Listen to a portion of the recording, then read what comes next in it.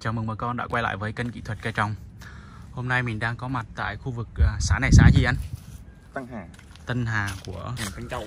Tân Châu của tỉnh Tây Ninh Để quay lại một vườn bưởi da xanh Cây này là được à, bao nhiêu năm rồi anh? 3 năm à, mấy tháng. Con nhìn thấy là cây này 3 năm mà được mấy tháng thôi. 2-3 tháng thôi mà nhìn cái gốc nó rất là lớn như vậy. Đây Gốc này mà mình phải nói là tầm 5 đến 6 năm mà bà con. Vườn này là được 1.200 cây đúng không anh? Ồ, cây nào cũng sung ha Đó, như vậy. Thì đối với vườn này á, là đạt chuẩn Global Gap. Thì mình cái đăng ký cái, cái chuẩn đó được lâu chưa anh? Giờ được mấy tháng rồi. À, người ta xác nhận mà xài hoàn toàn là bằng các thuốc nam. Ở đây là định kỳ là anh à, bảy ba đến 4 ngày là mình xịt là tinh dầu tỏi ớt ha à, mình pha mình xịt thôi. Thì vườn này là chưa lấy trái lần nào bà con nhìn thấy là cây nó rất là sung. Đó, lần đầu tiên mà mình thấy cây 3 năm mà cái gốc nó rất là lớn. Qua này này cây nào cũng vậy. Riêng cái đất Tây Ninh mình nó đất tốt nha. Với lại cái lượng nước tưới của mình á nó có nhiều phù sa trong á. Đây gốc mà kinh thiệt chứ. Đây nó rất là lớn như vậy. Thì đợt này á thì cơ bản á là bữa giờ anh cũng có là tỉa cành tạo tán rồi đúng không anh Chưa. Ờ, mình mình Bữa mình mới cắt cắt luôn cắt trên ngọn thôi gì hay sao Dạ. có cắt trên à, à, cắt cũng lâu rồi Ừ. Nhưng mà em thấy là cái, cái trong thân mình á là cần nhẹ nó rất là nhiều. Đó. Mà mình chưa xử lý làm bông luôn. Thì đợt này mình sẽ cho mình à, cũng qua cái mùa mưa này rồi thì mình sẽ cho xử lý làm bông cái vườn này. Tại vì trong nhìn thấy cây nó rất là sung, lại cần nhện mình trong thân rất là nhiều này. Đây. Mặc dù mình không tỉa lần nào nhưng mà để trong thân này rất là nhiều cần nhện như vậy. Cành nhện mà đủ già như vậy thì mình có thể à, tiến hành mình phân hóa mầm hoa. Mình ép cây mình làm bông được. Đối với cái việc làm bông cho cái cây bưởi tơ 3 năm mà ba năm mấy mà nó sung như vậy thì nó nó rất là khó. Tại vì trong trong cái quá trình mà nó đang sinh trưởng rất là lớn như vậy. Đó. Bà con nhìn thấy cái nó rất là sung mà mình sẽ chuyển hóa năng lượng của nó là từ cái giai đoạn mà nó sinh trưởng chuyển qua cái giai đoạn sinh thực và nó chuyển sang cái giai đoạn sinh sản. Đó, thì như vậy thì nó là cả một quá trình. Thì đối với này là phun lá một lần là bao nhiêu lít? 7 ngàn 7.000 lít. Cây nó xong nó sung to quá mà. Bình thường là mình bón gốc đây bón cái gì anh? Vỏ đậu thôi hả thường là khi bao nhiêu lâu mình à, vào phân một lần? Cả năm mới nhấp nhấp cho nó ba Ừ. thì em cũng làm một cái vườn ở Củ Chi á 3 năm.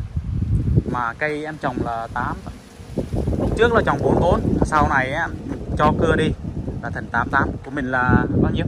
Không ta của mình 88 mà cây 3 năm mà nó đã giáp tàn rồi nha. Vườn ở Củ Chi á. Đó nó rất là tốt. Như vậy thì trong quá trình xử lý làm bông á thì cái giai đoạn mà phun uh, phun kali hữu cơ phủ ngọn á làm cho phun là 4 lần. Lúc cái quá trình nó chuyển hóa cái năng lượng đường bột của nó. Kết hợp vào đó thì trong thân á, là mình sẽ phun cái dòng là sau này mình sẽ phun dòng 16 10 10 cộng với 10 30 30 thì tùy cái lực cây thôi. Ví dụ cây ờ, 4 năm hoặc là cây 5 năm em sẽ cho phun tầm 1 đến 2 lần thôi. Còn cái cây như vậy thì em cho phun ờ, tầm 5 lần. Thì khi khi mà cái lá nó già đi nè anh để ý ấy, khi mà cái lá nó phun xong mà cái lá nó giòn đi. Giòn á mình có thể lặt lá gần như này. Đó mình lặt lá gần như này. Thì nó sẽ ra hoa ở những vị trí này. Đó, nó có hai phương phương án. Ví dụ mình lật lá những cành mà ngắn như vậy này hoặc là tì nhẹ đầu cành nhẹ như vậy thì sau này nó sẽ dễ ra hoa hơn. Đó. với cái số lượng là 1.200 cây này một lần thu nhiều lắm chứ bộ. Đâu có giỡn được đâu. Mà cây cái gốc này những cái gốc này nói 3 năm nó không ai tin nha. Đó, nó rất là to cơ bản ở đây là mình trồng nổi này. Thì nó đỡ đi cái tình trạng nó bị vàng lá và thối rễ. Ít bị. Vàng lá rất là sung. Đó, thì đầu kia thì có một cây bị vàng thôi. Cái tỷ lệ vàng lá ở trong cái vườn này nó rất là ít. Con nhìn thấy là một màu xanh như vậy. Đấy, thì mình đi vô nó có một cây đầu kia thì à, do mình trồng sâu á thì cái trong mùa mưa này thì tình trạng ngập úng và bộ rễ nó bị hư.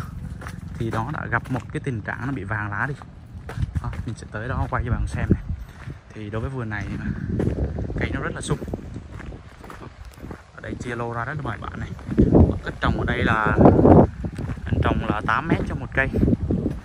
Đối với bưởi da xanh á, thì bà con mình định hướng là mình phải trồng là trên 6 mét cho mình nha. Ví dụ bà con nên trồng 66 này 67 hoặc 68 Đấy, ở đây trồng 8 mét là rất là tốt rồi. Cây 3 năm. Đây mình sẽ tới à, cây đầu này là lúc nãy nó mình đã gặp được tình trạng nó bị vàng lá và thối rễ rồi. Để quay cho bà con xem. Đây. Con để ý này một sự khác biệt khi mà cái cây nó bị vàng này, so với những cây nó sung này. Đây mình quay bạn xem. Đây là những cây sung và đây là cây vàng này. Khi bà con nhìn thấy những cây sung á, là bộ rễ của nó nó sẽ nằm trên cái mặt như vậy này. Còn cây vàng á đó, cái rễ của nó là nằm dưới cái lớp mặt đất như vậy.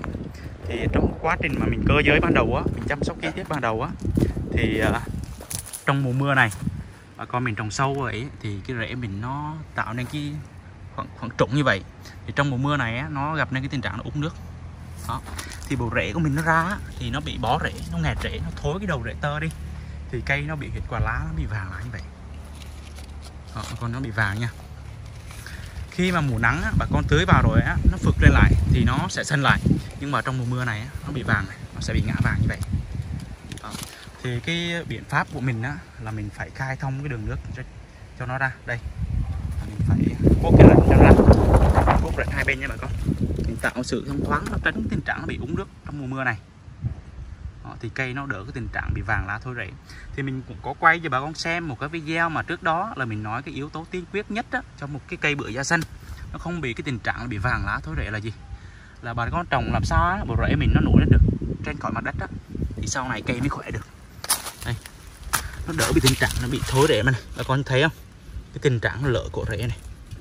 Đó nó thối trong này rồi. Thì cây nó cứ vàng hoài đó bà con con lưu ý với mình một vấn đề như vậy. Mình so sánh giữa những cây này. Cây bên này nó rất là xanh tại vì trồng mà bà con nhìn thấy đó, nó trồng này bằng mặt. Không kia cũng bằng mặt như vậy. Nhưng ở đây là trồng à, dưới mặt này. Đây, một đường trũng xuống này. đó thì bà con lưu ý một vấn đề như vậy là khi trồng á mình làm sao á mình để cho cái bầu của mình á, nó lên trên khỏi mặt đất để sau này nó đỡ cái tình trạng bị vàng lá và thối rễ như vậy. Nó rất tiếc cho bà con trong giai đoạn này thì cái cây này á thì đợt này mình vẫn cũng chưa cho lấy trái được. Mình chỉ cho lấy trái như vậy thôi mấy cây như vậy này. Đây, đa số nó rất là sung. Cái tỷ lệ mà cây vàng như vậy á, trong cái vườn này là chỉ có một hai cây thôi bà con. 1.200 cây. Mà cái tỷ lệ như vậy chỉ có hai một hai cây như vậy thôi. Thì nó không đáng bao nhiêu. Đợt này mình sẽ lên cái quy trình làm bông. Cho đối với những cái cây bưởi da xanh này. Con nhìn thấy là cây à, 3 năm. 2 tháng. Mà cái gốc nó rất là to này. Mình thấy là gốc rất là to nha. Này là của vùng à, Tân Châu Tây Ninh. Nó rất là to như vậy. Con để ý là trong thân cây nó rất là cái da rất là khỏe này. Với lại cái cành nhện nó rất là nhiều. Đó, vườn này là theo cái hướng là global gap. Và khi theo bên mình rồi á thì à, mình cũng à, xài mấy cái dòng sinh học thôi. Thì nó sẽ đạt được các chuẩn tiêu chí nghiêm ngặt về cái chuẩn global gap cho bà con. Nên bà con cứ yên tâm. Thì trước giờ đối với vườn này á, cũng xài bằng cái các dòng thuốc nam thôi. Nên bà con để ý nhé, là cái trái của mình nó sẽ chưa đẹp lắm. Đây, và trái này là để ra tự nhiên thôi. Bà con nhìn thấy này. Đấy. Nó, cái gốc nó rất là to như vậy. Rồi, mặc dù cây sung như vậy mà mình cũng chưa làm trái này nào thì đợt này của mình cũng sẽ lên một cái quy trình làm bông đối với cây bưởi tơ 3 năm như vậy. Quả này cho bạn cùng xem. Gốc nó rất là to. Gốc 3 năm mà nó đây. Bữa giờ anh cũng à, chưa biết cái cách chăm sóc. Nên cái trái của mình á, cái mẫu mã nó chưa đẹp. Với lại nó gặp đi tình trạng là sồ trái, côn trùng nó kết thúc vừa này anh cũng rất tích cực là mình à, làm theo cái chuẩn global gap á. Nên trước giờ là bà à, anh phun á phun bằng các à, thuốc nam như là tỏi ớt á thì anh phun ra 3 đến 4 ngày một lần. Nhưng sau này á, mình xài cái dòng tinh dầu sinh học á thì định kỳ ví dụ chăm sóc theo cơi á bà con mình linh động tầm từ 6 đến 7 ngày mình phun làm một lần thôi. Họ như vậy thì có thể có thể giảm đi cái công cán cho bà con. Kết hợp là mấy dòng dưỡng trái này. Mình sẽ dưỡng cái trái này đẹp hơn hôm nay mình cũng à, muốn quay lại cho bà con xem một cái video về cái gốc bưởi này là gốc 3 à, năm 2 tháng nha bà con. Nhưng nó rất là lớn này. Đây, mình nói là một số bà con không tin. Cái này 3 năm 2 tháng. Rồi, xin chào bà con và hẹn gặp lại bà con trong những video sau của kỹ thuật cây trồng.